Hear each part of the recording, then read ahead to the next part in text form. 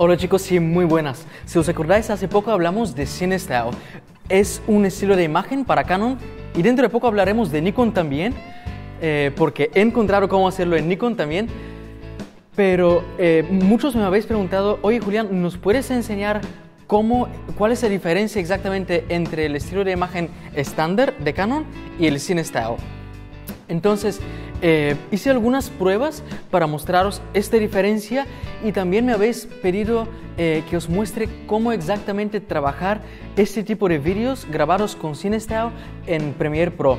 Entonces, eh, he hecho algunas pruebas y ahora os las voy a mostrar para poder, mm, primero, ver la diferencia entre CineStyle y, y el, y el estándar, digamos, de Canon y luego vamos a ir a Premiere para echar un vistazo a cómo funciona todo esto y cómo podemos editarlo para que quede realmente bien. Lo que estás viendo ahora mismo es una grabación tal cual ha salido de la cámara de CineStyle. Claro, tenemos muchas luces que eh, mejoran muchísimo la, imagen, pero ten en cuenta que esto es la, imagen cruda, sin ningún tipo de edición. Luego le vamos a editar. Y también ahora vamos a pasar al siguiente. Este se llama Flat. Es un estilo de imagen compatible tanto con Canon, Nikon, Sony y algunas marcas más de cámaras. Todavía estoy haciendo pruebas y os mostraré en otro vídeo cómo instalarlo en Nikon.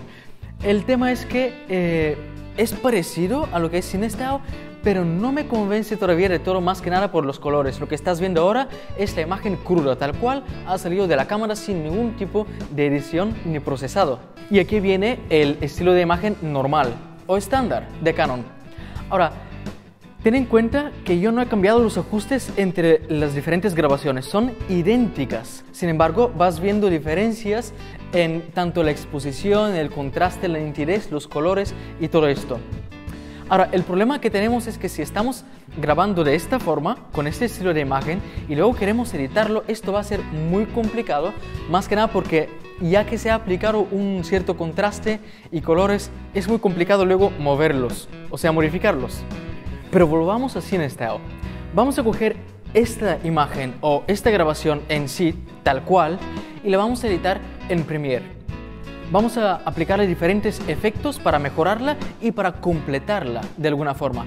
Yo personalmente eh, utilizo varios efectos que son muy simples de utilizar.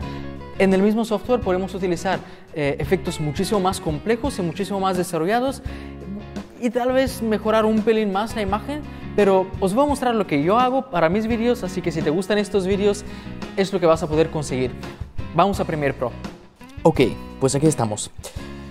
Eh, Hemos dicho que vamos a editar este vídeo, pero bueno, yo creo que quedaría mejor editar la outro, el outro, o sea, la, el final del vídeo.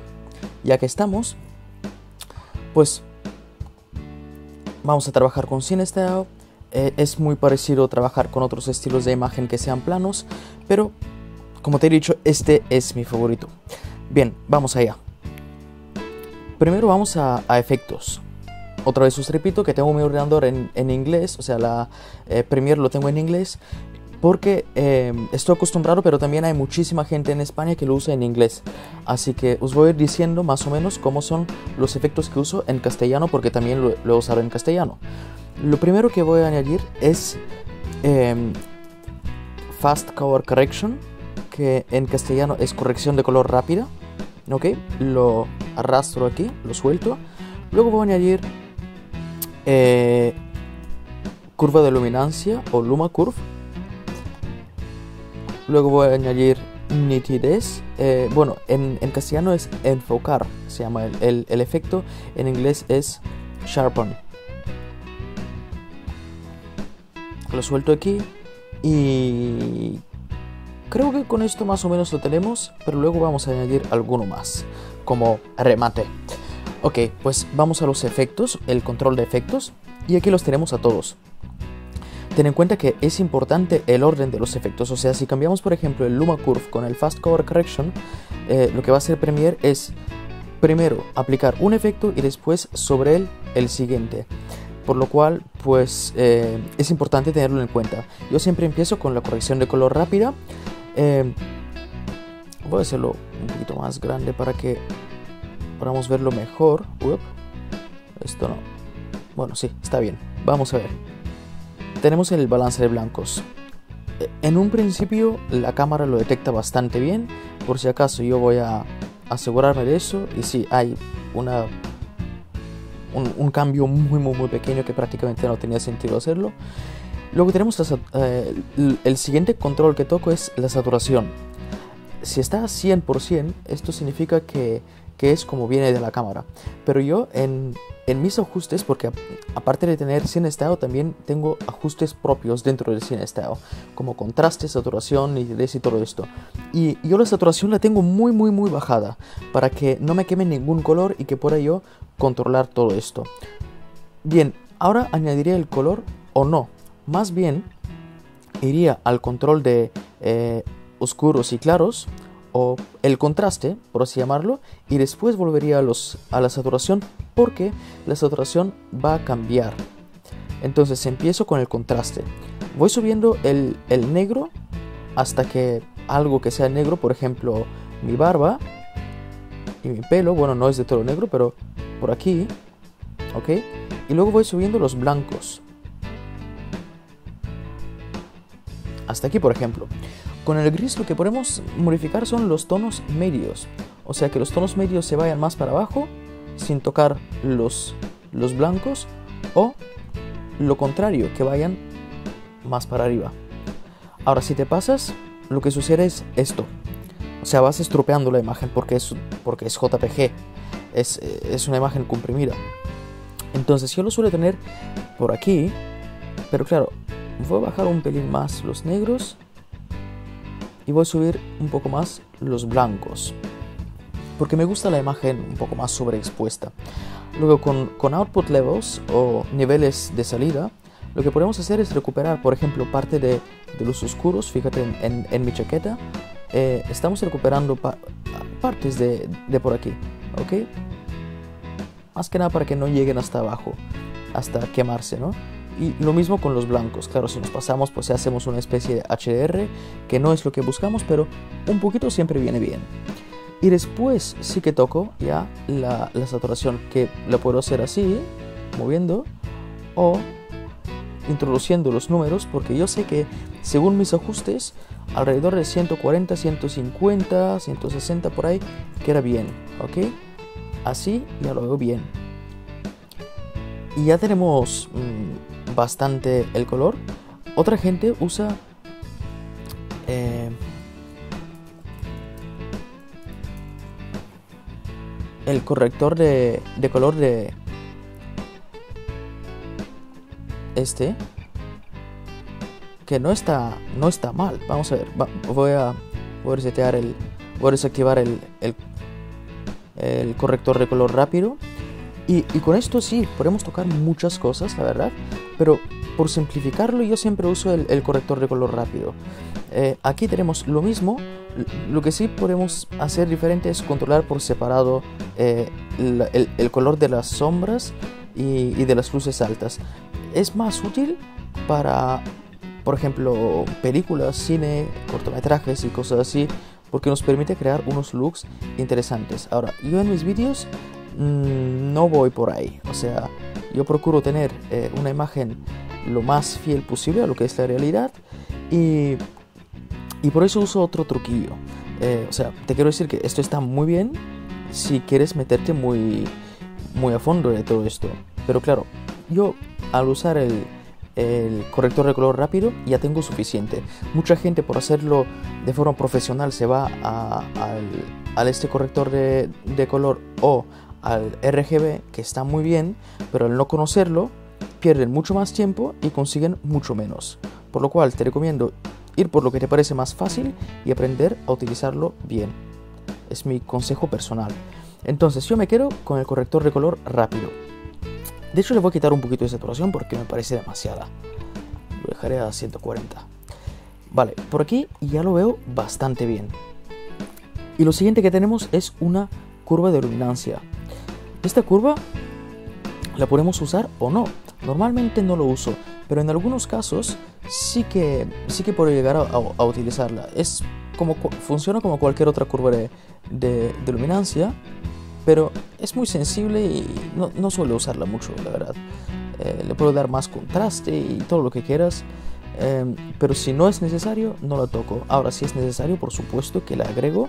Y, y bueno, pues ya ves que hemos cambiado eh, un poquito, el, hemos mejorado un poco el contraste, ¿no? No sé si me gusta, no estoy seguro, eh, porque como que pierdo demasiado de, la chaqueta. Sí, me gusta. Lo que, lo que pasa es que voy a cambiar aquí los negros, los voy a bajar un poco. Por aquí. ¿Vale? Pues sí, lo veo bien, lo veo bien. Pero no siempre es necesaria la curva de, eh, de luminancia. Y luego para acabar le añado nitidez.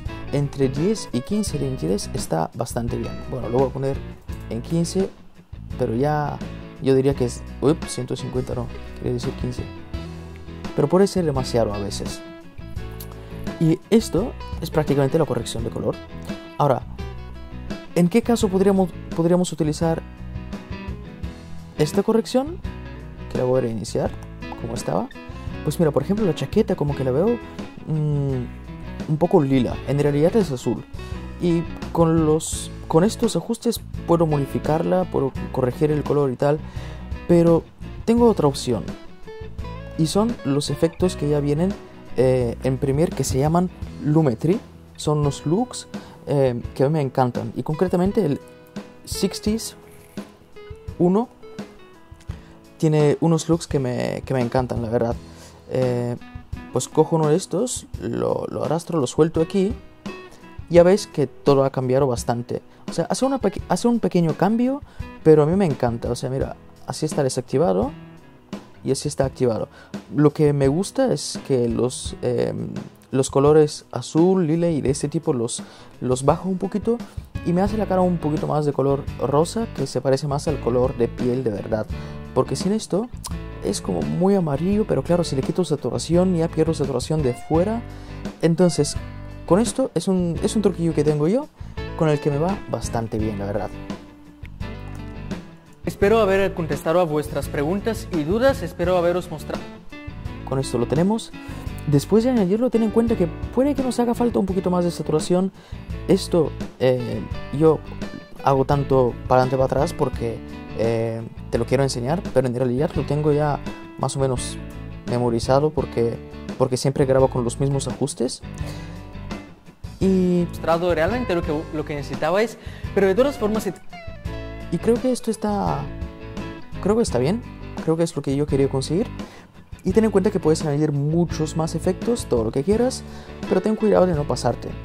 Por ejemplo, con la nitidez, con el contraste, yo la nitidez no la suelo poner a 15, la suelo poner a 10.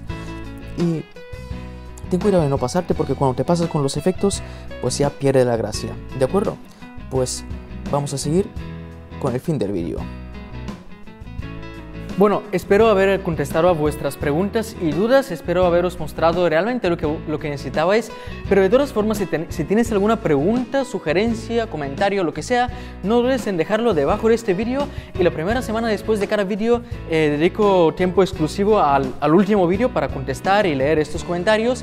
Entonces, si tienes algunas propuestas más de vídeos que te interesaría ver relacionados con eh, los estilos de imagen, la edición y todo esto me los eh, puedes hacer en los comentarios. Y no te olvides que también tengo una pequeña serie de vídeos de Premiere Pro que empecé hace tiempo pero lo abandoné porque no había interés de parte de la gente. Por lo cual ahí está la lista de reproducción. Si quieres echarle un vistazo, pues está en el canal. Simplemente no seguí con estos vídeos porque no había mucho interés. Pero ya me iréis diciendo lo que, lo que os gustaría ver y cómo os gustaría verlo. ¿De acuerdo? Nos vemos en el siguiente vídeo chicos y hasta la próxima. Tchau.